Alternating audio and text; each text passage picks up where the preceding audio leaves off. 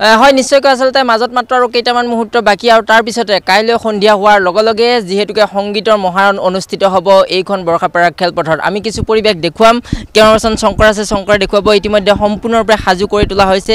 সকলো প্ৰস্তুতি প্ৰায় সম্পন্ন হৈ উঠিছে আৰু এই মুহূৰ্ততো অন্তিম যি ধৰণৰ লাইটিঙৰ ব্যৱস্থা সেই লাইটিঙৰ ব্যৱস্থাত তেওঁলোক যিসমূহ বনোৱা আছে সেই তেওঁলোকে নিয়োজিত হৈ আছে কৰ্মকৰ্তাসকলে আমি দেখুৱাইছোঁ পৰিৱেশ আৰু ইয়াতে ইয়াতে প্ৰায় কাইলৈ হাজাৰ হাজাৰ দৰ্শকৰ উপস্থিতিত সংগীতানুষ্ঠান পৰিৱেশন কৰিব অ, অৰিজিত সিঙে। আৰু তাৰ প্ৰাক মুহূৰ্তত ইতিমধ্যে বৰ্ষাপাৰা দেখিবলৈ পোৱা গৈছে খুব সুন্দৰভাৱে আটক ধুনীয়াকৈ খুব সুন্দৰভাৱে ইয়াত সজাই পৰাই তোলা হৈছে যিসমূহ যি ধৰণৰ আচলতে টিকট সেই টিকট অনুযায়ী স্থানসমূহ ইয়াত নিৰ্ধাৰ নিৰ্ধাৰণ কৰা হৈছে।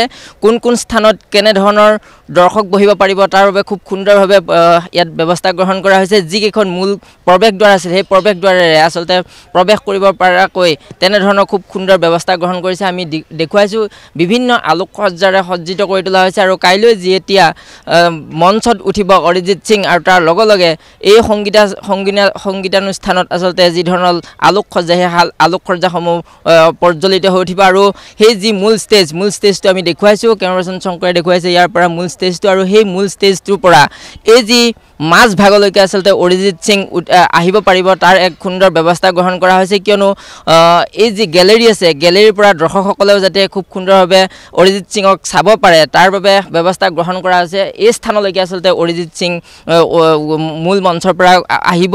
আমি দেখুৱাইছোঁ এই পৰিৱেশ খুব সুন্দৰভাৱে ইয়াত যি কাম কাজসমূহ ইতিমধ্যে সম্পন্ন কৰা হৈছে আৰু কাইলৈ যিহেতুকে সংগীতা সংগীতানুষ্ঠান হ'ব তাৰ পূৰ্বে বাদ্যযন্ত্ৰীসকলে তেওঁলোকে কিছু অনুশীলন কৰি থকা দেখিবলৈ পোৱা গৈছে।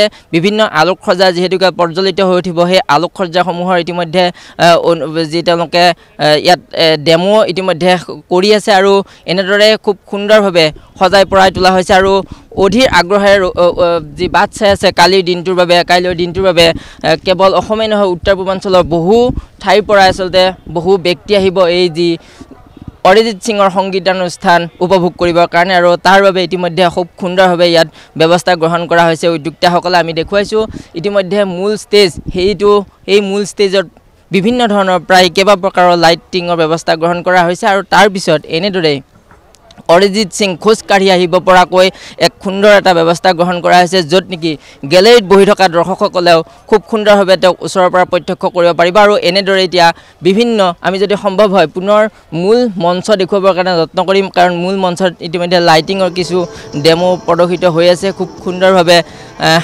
বিভিন্ন বিভিন্ন কেইবাটাও ইয়াত লাইট সংযোগ কৰা হৈছে যিসমূহ লাইট সংগীতৰ যি বাদ্যযন্ত্ৰীৰ তালে তালে এইসমূহ লাইট প্ৰজ্বলিত হৈ উঠিব আৰু তাৰ বাবে খুব সুন্দৰ ব্যৱস্থা গ্ৰহণ কৰা হৈছে।